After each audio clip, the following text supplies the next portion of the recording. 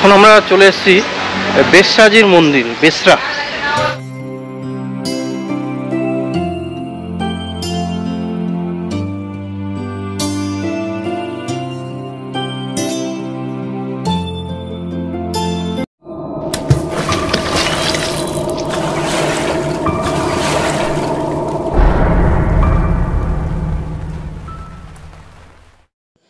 Little কচ্ছের গ্রাম থেকে আমরা ফিরছিলাম আমেদাবাদ যার পথে ভাবলাম, বৌচার মাতার মন্দিরটি দেখে যাই।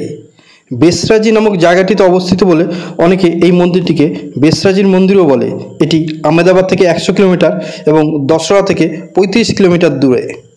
আমরা চলে এসেছি বেসরাজির মন্দির, বেসরা।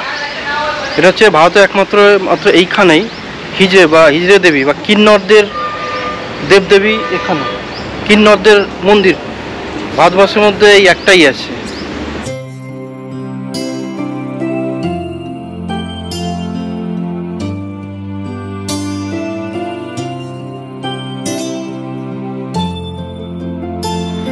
মন্দিরের যে কার্যশৈলী এবং কলা, অসাধারণ।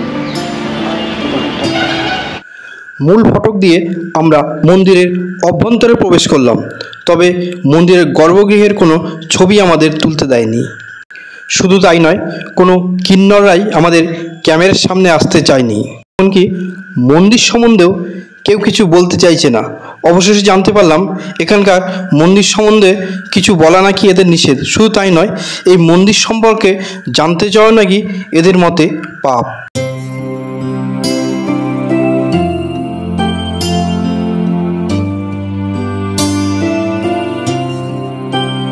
तो ऐसे बहुचर माँ का है देवी माँ का। हाँ। और वैसे माता माता जी का है। बेसरा जी माता जी का? हाँ बहुचर माँ का बहुचर माँ का। बहुचर माँ का। हाँ।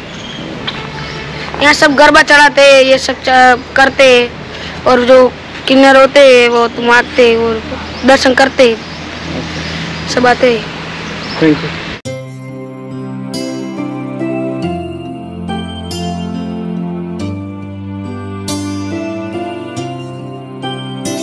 মন্দিরের একটি নির্দিষ্ট স্থানে ছোট ছোট বাচ্চাদের কিছু ছবি টাঙানো দেখে কৌতূহল হলো।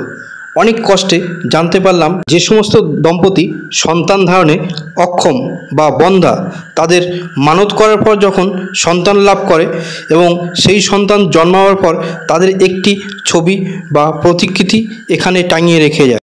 শুধু তাই নয়, মানত করার সময় কিন্নদের কাছ থেকে এরা এক টাকা ঋণ হিসাবে নিয়ে যায়। আর সন্তান ধারণ করলে সেই টাকা আবার শোধ দিতে আসে। অনেককেই দেখলাম এইভাবে এক টাকার কয়েন নিয়ে যাচ্ছে।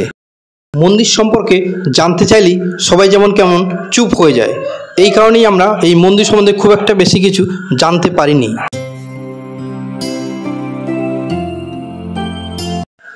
ভিডিওটি দেখার জন্য অসংখ্য ধন্যবাদ।